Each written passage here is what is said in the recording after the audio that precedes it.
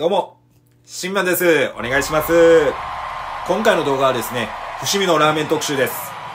以前ラーメンの動画を出したんですけれども、コメントに伏見のラーメンも美味しいですよというコメントをいただきました。はい、なので早速何件かご紹介したいと思います。早速、行ってきます。はい、まず1軒目はですね、大手筋商店街の近くです。はい。こちらの場所にはですね、私初めて来たのですが、え非常に活気があってね、いい場所だなと思いましたね。あ、早速見えてきましたね。この坂倉工事にある、はい、目当てのラーメン屋さん、こちら。ラーメン、門泉さんですね。楽しみです。早速入っちゃいましょう。行っちゃいましょう。こちらですね、店内はですね、いろんなね、お店が入ってて、その一角にラーメン屋さんがあるという感じですね。はい、こちらの屋台風の雰囲気のいいラーメン門泉さん。はい、メニューはですね、こちら、鶏ラーメン、野菜ラーメンなど体に優しそうなメニューがたくさん、酒かすラーメンもこちら伏見店にはあります。今回定番の鶏ラーメンを頼みました。早速いただきます。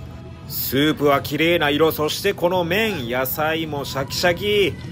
スープを一口飲むと、うわこれは体にしみるというスープですね。そして麺もすすっちゃいます。1すすり、2すすり、3すすり、し終わった後は、チャーシューもいっちゃいます。これね、映像だけじゃ伝わらないと思うんですけれども、これ麺が止まらないんですよ。なんていうかね、本当に食べやすい。多分ね、女性の方めちゃくちゃ好きなんじゃないかと思いますね。あ、出ましたね。新明パンチ。はい。新明パンチ出るぐらいなんでね、これはもう女性には優しいですよ。とにかくね、私が気に入ったのはスープです。本当に鶏のコクがある。そしてこの野菜の旨味もあって、もう本当に永遠に飲み続けることができるスープでした。最高でしたね。ごちそうさまです。春の風吹き荒れる中私が思うのは次は酒かすラーメンにしようかな。そんなことを考えてます。伏見にある門泉さんにお邪魔しましたけれどもスープが結構優しい味で僕はすごく、えー、気に入りましたね。何杯もいけるラーメンですね。本店は、えー、祇園にあるんですけれどもこちらの伏見のお店では酒かすラーメンも、えー、食べれるので次回食べたいと思います。次のラーメン屋さん行きましょう。続いてのお店は、こちら、大黒ラーメンさんです。本店はね、伏見の方にあるんですけれども、東北寺店にお邪魔してます。なんといってもね、部活の帰りによく寄っていたお店なんです。はい、なんといってもこちらのラーメンの価格、なんと1杯530円。しかも、1杯食べ終わったら100円の割引券もくれたりするんですよね。いや、これはね、学生にも優しいですよね。懐かしい。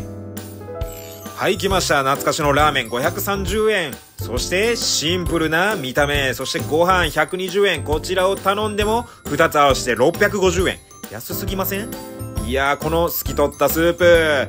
ただねあんまり覚えてないっていうね。ただこんな感じやったなっていうのははいなんとなくありますね。この日の東福寺付近はですね結構寒かったので本当にラーメン日和でしたね。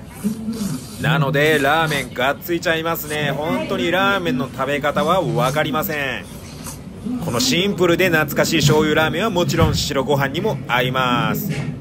麺とチャーシュー普通に美味しいです。ザ・京ラーメン。ラーメンのスープは醤油のシンプルなスープです。癖もあまりありません。余ったシャキシャキのネギの入ったスープはご飯と交互に飲み干します。ごちそうさまです。いや懐かしい。テニス部の子らなんかと一緒の帰り道にこちら寄ったのを思い出します。100円の割引券を持ってラーメンを食べてまた100円の割引券をもらってまたこちらにラーメンを食べに来る。この無限ループ。はい。中学校以来の大黒ラーメン。美味しかったです。何より安い。またね、え部活の帰りとかにね寄りたい。なんかそういうラーメンですね。美味しかったです。最後のお店になりました。こちら、勝京さん。以前、ラーメンの動画を出したコメントにですね、こちらのお店の名前が上がっていたので、お邪魔したいと思います。お店の雰囲気、そして、この特製味噌ラーメンとマグロ漬け丼のセット。これはね、非常に期待ができます。スープは、おや？ちょっと油は乗ってますね。うーん、そして、麺は？あもちもち感は伝わってきますいい感じの縮れ麺ですね味噌のスープ早速飲んでみるとん？これは飲んだことのない味だなと正直思いましたね。そして麺はもちもちでそうまたこの中太麺がいいんです。一緒に入っているネギはですねちょっとまた違ったタイプの細ネギでしたね。またこちらがアクセントになっていてそれと一緒にすすっていく。やっぱアクセントになってて美味しいですね。そして一番驚いたのはこちら。この分厚いチャーシュー1枚ドンとあります。さあこれをいただいていく。味はですね味噌ラーメンといっても結構パンチはありましたね。ただ何種類もブレンドされたような繊細なスープでした。そして麺ともあってまたねこのマグロ丼こちらを頼んだ甲斐がありましたね。味噌ラーメンと合うような味付けそれでさらに食欲が増してこのラーメンがまた進んでいくんです。これはセットにしてよかったです。スープも飲み干す完食の一杯。はいというわけで勝京さん行ってきました。特製味噌ラーメン。マグロつけ丼のセット、こちらを頼んだんですけれども、えー、特製味噌ラーメンの方は、ありがちなね、ピリ辛の味噌ラーメンとはまた違った、なんかちょっと深い味わいのね、なんかいろいろどうブレンドされてんのか、その味噌のスープでしたね。で、麺は若干縮れ麺で、まあもちもち感のある麺でしたね。勝京さん、えー、非常に美味しかったです。ありがとうございました。